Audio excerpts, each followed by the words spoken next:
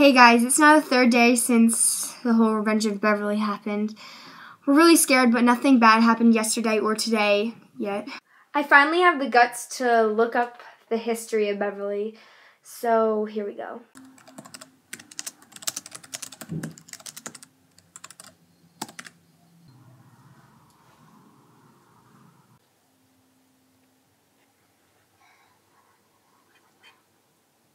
I found it! I need to get a flashlight. The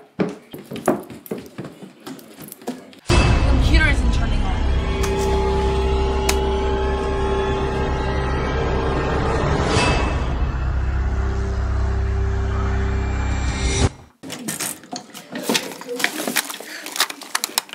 I, I can't feel any flashlight. Well, let's just try the match. That will not be bright enough for what I need.